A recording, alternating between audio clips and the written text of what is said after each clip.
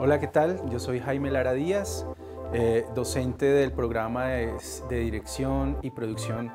de medios audiovisuales de la CUN. Eh, los vengo a invitar a que vean el próximo domingo 2 de febrero a las 6 de la tarde la película Irma que se proyectará en la sala capital de la Cinemateca Distrital eh, con una entrada totalmente gratuita y, por qué los vengo a invitar yo? Porque soy el montajista de la película, porque hice parte del equipo